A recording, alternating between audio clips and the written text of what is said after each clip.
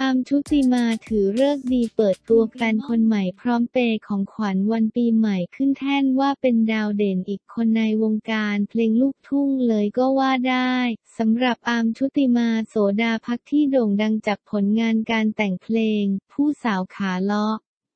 ให้กับศิลปินลำไยไหทองคำจนโด่งดังเป็นพลุแตกหลังจากที่เจ้าตัวได้ผันออกมาเป็นศิลปินเดี่ยว ก็ต้องบอกเลยว่ามีงานเข้ามามากมาย รวมถึงเงินที่หลั่งไหลเข้ามาจนทำให้อาร์มชุติมา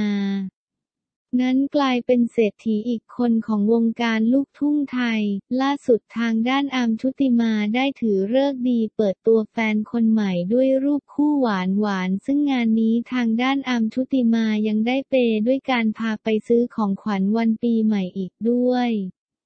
งานนี้ทำเอาชาวเน็ตแห่เข้ามาคอมเมนต์กันสนั่นเพราะถือว่าหนุ่มคนดังกล่าวเป็นแฟนคนแรกของอาร์มชุติมาที่เปิดตัวเลยก็ว่าได้ ไผ่พงศธรสวมสรงนั่งขุดปูไปทำอาหารใช้ชีวิตแสนเรียบง่ายอยู่บ้านเกิดจังหวัดยะโสธรเรียกได้ว่าเป็นนักร้องขวัญใจชาวรากหญ้าอีกคนเลยก็ว่าได้สำหรับนักร้องลูกทุ่งหน้าหวาน อย่างไผ่พงศธรเจ้าของฉายา หนุ่มตามฝันจากบ้านไกล ซึ่งต้องบอกเลยว่าหนุ่มไผ่เป็นคนที่ประสบความสำเร็จอย่างมากในวงการเพลงลูกทุ่ง ซึ่งต้องบอกเลยว่าหนุ่มไผ่นั้นเป็นที่รักของแฟนๆ ก็คือการใช้ชีวิตติดดินเรียบง่าย เมื่อว่างจากการทำงานหนุ่มไผ่ก็มักจะกลับไปใช้ชีวิตแสนเรียบง่ายอยู่ที่บ้านเกิด จังหวัดยะโสธรกลับคุณแม่และต้องบอกเลยว่าหนุ่มไผ่เป็นคนที่ดูแลแม่เป็นอย่างดีล่าสุดจากสถานการณ์โควิด -19 ที่กำลังระบาดอย่างหนักทำให้ไผ่พงศธรเองก็โดนยกเลิกงานจนต้องกลับไปอยู่บ้านที่จังหวัดยะโสธร แต่ทว่าไผ่พงศธรก็ใช้ชีวิตอย่างมีความสุขไม่เดือดร้อน กลับไปช่วยแม่ทำไร่ทำนาอย่างเช่นล่าสุดทางด้านไผ่พงศธรก็ได้ไปขุดหาปูมาทำกับข้าวพร้อมกับบอกว่านะ เวลานี้ตัวละหนึ่งร้อยกระบอกขายเด้อครับ ขุดกระปูหายากคัก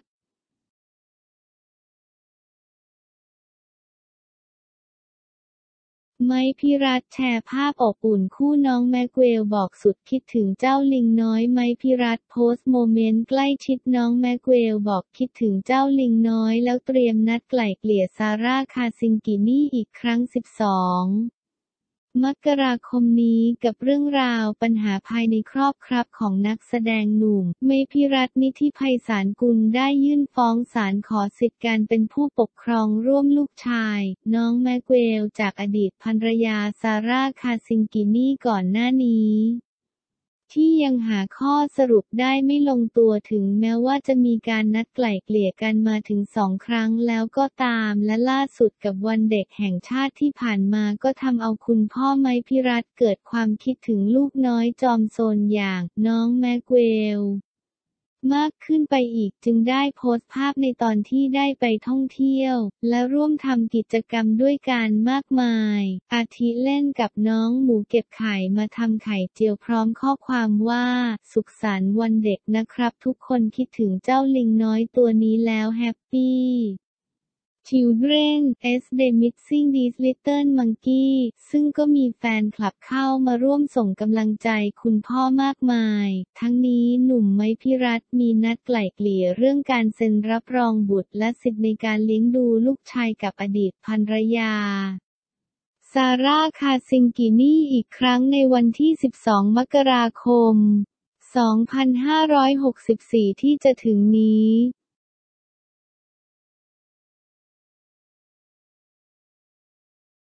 วินเมธวินทรงโฮเยคโยเหมือนกันมาก สื่ออินโดยกภาพเทียบชัดๆฮือฮา สื่ออินโดยกภาพเทียบความเหมือนวินเมทวินนักแสดงหนุ่มชาวไทยกับซงฮเยคโย ซองเฮเคียว นางเอกตัวแม่จากเกาหลีใต้เรียกเสียงฮือฮาจากชาวเน็ต โดยเฉพาะฝั่งแม่ยกไทยได้ไม่น้อย หลังจากที่สื่อบันเทิงของอินโดนีเซีย ได้จัดทำเซตภาพคู่เปรียบเทียบความคล้าย ระหว่างซงฮ เยคโย ซองเฮเคียว นางเอกตัวแม่จากเกาหลีใต้กับวินเมธวินโอภาสเอี่ยมขจรนักแสดงหนุ่มไทยแห่งคู่ขวัญไบร์ทวิน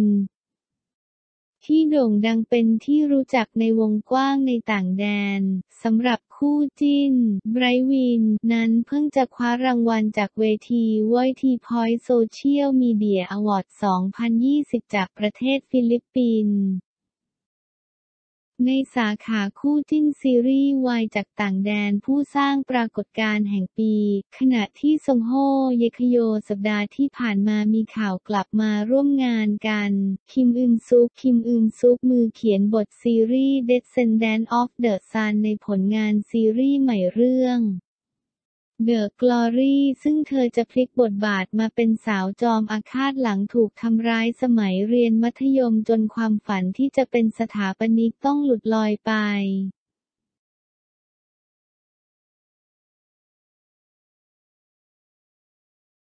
บริษัทฮาไม่จำกัดแจงเหตุเปลี่ยนนักแสดงชุดใหม่จากตลกเป็น The Star บริษัทฮาไม่จำกัดแจงเหตุเปลี่ยนนักแสดงชุดใหม่หลังมีดราม่าจากตลกเป็น The Star ยอมรับไม่มีใครอยากเปลี่ยนแต่รายการต้องดำเนินต่อไป บริษัทฮาไม่จำกัดแจงเหตุเปลี่ยนนักแสดงชุดใหม่หลังจากตลกสายฮาบอลเชิญยิ้มออกมาให้สัมภาษณ์สาเหตุว่าจะไม่ใช้ชื่อ บริษัทฮาไม่จำกัดไม่ได้มีปัญหาอะไรกับใคร พร้อมเผยชื่อใหม่ใช้ Joker Family ที่มีสมาชิกอย่างบอลเชิญยิ้ม น้าค่อมเชิญยิ้มและตั๊กบริบูรณ์จนกระทั่งตอนนี้ บริษัทฮาไม่จำกัดได้เปลี่ยนรูปแบบและชื่อรายการใหม่ เป็นฮาไม่จำกัดทั่วไทยแถมยังเปลี่ยนผู้ดำเนิน รายการยกแก๊งจากบอลเชิญยิ้ม แจ๊สชวนชื่นนาคอมชวนชื่น ตักบริบูรณ์และเหน่งเชิญยิ้มมาเป็นทีมตลกสายฮาชุดใหม่คือนุ้ยเชิญยิ้ม จตุรงโพธาราม เจียบเชิญยิ้ม ชูศรีเชิญยิ้มพร้อมเสริมทัพตลกสายฮารุ่นใหม่จากเวทีมการประกวดร้องเพลง The Star ที่หมุนเวียนผลัดการสร้างปรากฏการณ์ความฮาสุดแนว อาทิอาทิบี้สุกฤษฎิ์ตั้มวราวุธ ตูมตามยุทธนาและโดมจารุวัฒน์ซึ่งก็ตามมาด้วยดราม่ามีแฟนคลับที่ติดตามดูมาโดยตลอดเกิดการวิพากษ์วิจารณ์ในหลายแง่มุม ส่วนใหญ่บอกว่าไม่ตลกจนต้องเลิกดูคิดถึงทีมนักตลกเดิมมากกว่ารวมถึงมองว่าการเอานักร้องมาแสดงตลกมันไม่ตลกเหมือนเดิม เห็นมีแต่กลุ่มนักแสดงที่หัวเราะกันเอง คนดูไม่รู้สึกขำเลยสักนิดดราม่าเดือด แฟนคลับประกาศเลิกดูบริษัทฮาไม่จำกัดทางรายการขอเวลาพิสูจน์ล่าสุดวันที่ 9 มกราคม 2564 บริษัทฮาไม่จำกัดออกแถลงการชี้แจงผู้ชมใจความว่าตลอด 6 ปีที่ผ่านมาตั้งแต่เริ่มต้นสร้างรายการผ่านอะไรมาเยอะ พัฒนาเรื่อยมากระทั่งโดนปลดรายการจากช่องหนึ่ง แต่ก็สู้จนได้ไปอยู่ช่องวัน 31สำหรับการเปลี่ยนแปลงครั้งใหญ่ ยอมรับว่ารายการกำลังไปได้ดี ไม่มีใครอยากเปลี่ยนหรอก แต่นักแสดงบางคนอยากมีเส้นทางของตัวเองด้วยเหตุผลส่วนตัวจึงต้องเคารพการตัดสินใจของเขา และให้เกียรติคนที่เดินจากไปแต่รายการต้องเดินหน้าต่อเพราะยังมีอีกหลายชีวิตทั้งเบื้องหน้าและเบื้องหลัง จึงต้องปรับเปลี่ยนนักแสดงทั้งที่ไม่ได้อยากให้เกิดขึ้นพร้อมกับขอผู้ชมให้โอกาสและดูต่ออีกสักนิดแล้วค่อยติชมกัน ส่วนนักแสดงที่มานั้นเป็นแขกรับเชิญ ไม่ได้อยู่ประจำ พลอยชิดจันทร์ทุ่มกว่า 3 ล้านแจกใหญ่โบนัสพนักงานร่วมสร้างบริษัทกันมาพลอยชิดจันทร์จัดเซอร์ไพรส์พนักงานรุ่นเก่าแก่ตั้งแต่ก่อตั้งบริษัททุ่มกว่า 3 ล้านบาทแจกโบนัสครบรอบ 10 ปีเป็นคุณแม่ยังสวยแถมหุ่นยังดีแบบสุดๆสำหรับคุณแม่พลอยชิดจันทร์ที่ตอนนี้มีลูกๆทั้งหมดถึง 4 คนคือน้องชิโน่ ชิลลี่ ชิต้า และชิลีน แต่ถ้าจะให้พูดถึงเรื่องหุ่นก็หุ่นเฟิร์มแบบสุดๆ เพราะเจ้าตัวรักที่จะออกกำลังกายมาก เรียกได้ว่ามีเวลาว่างเมื่อไหร่ก็ต้องออกกำลังกาย นอกเหนือจากเรื่องของการออกกำลังกายแล้ว ในอินสตาแกรมของคุณแม่พลอยยังมักจะโพสต์โมเมนต์น่ารักๆของตัวเองกับสามีอยู่เรื่อยๆ อีกด้วย ล่าสุดในช่อง YouTube มอมคิดจัง EP 0.185 พลอยชิดจันได้แจกโบนัสพนักงานมูลค่ากว่า 3 ล้านญาติให้กับพี่ๆ ที่ทำงานด้วยกันมาเป็นเวลานานกว่า 10 ปีตั้งแต่เปิดบริษัทไทยโทนมาแจกให้คนละ 5 0 0แสนบาทมีคนหนึ่งเกษียณแล้วอายุ 70 ปีเลยทั้งแจกโบนัสและเลี้ยงเกษียณไปด้วยเลย และมีอีกหนึ่งครอบครัวได้เงินโบนัสไปหนึ่ง ล้านบาทแถมมีเซอร์ไพรส์ต่อเนื่องแจกรถเก๋งให้พนักงานอีกถึงกับปล่อยโฮบอกหายใจไม่ออกเลย ร้องไห้ด้วยความตื้นตันเคนประกาศทำงานไปอีก 10 ปี ปี 2030 จะแจกโบนัสก้อนใหญ่อีก 2 0 0 0 0ถึง5